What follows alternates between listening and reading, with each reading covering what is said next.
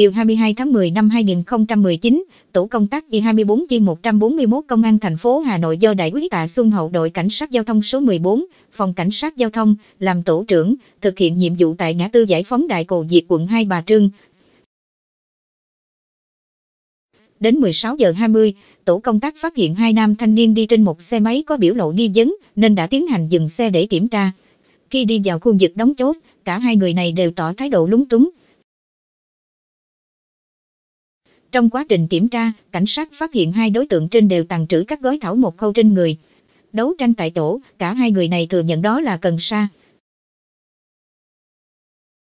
Ngoài ra, khi kiểm tra cốt xe máy, tổ Y24 chi 141 còn phát hiện một chiếc còn số 8, được đối tượng chỉ đạo xe nhận là của anh ta.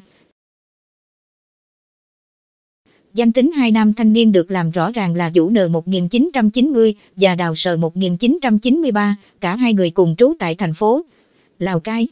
N và Sờ khai rằng họ là người chơi của nhau từ thuở nhỏ, hiện cả hai đối tượng đều làm huấn luyện viên thể hình nghiệp dư. Họ giải thích cần sa tàn trữ trong người dùng để hút nhằm dễ ăn, dễ ngủ sau quá trình tập luyện. Còn chiếc còn số 8 của N do một người anh cho từ lâu và được đối tượng này cất trong cốt xe máy để khóa xe tăng vật mà tổ công tác 141 phát hiện, thu giữ.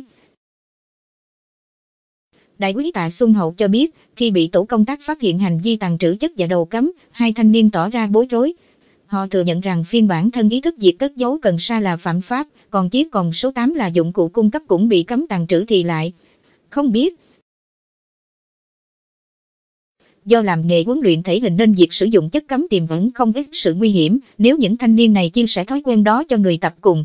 Tổ công tác đã lập biên phiên bản để xử lý nghiêm. Sau khi làm rõ ràng, tổ Y24 chi 141 đã bàn giao các đối tượng và tan chứng về cao bách khoa để tiếp tục giải quyết. Xem bài gốc tại đây.